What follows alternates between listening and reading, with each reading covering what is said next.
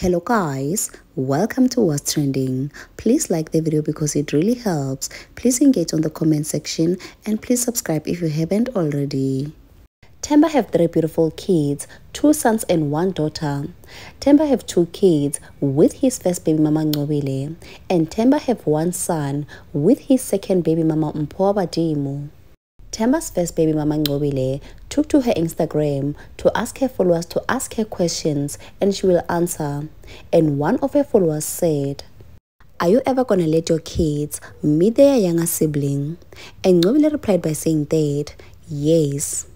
There you have it guys, Nqobile saying that she will let her kids meet their half-brother, Mpho Badimo's son.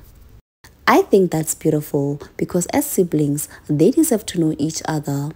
There you have it guys. Please do leave your comment down below. Please like the video because it really helps and please subscribe if you haven't already.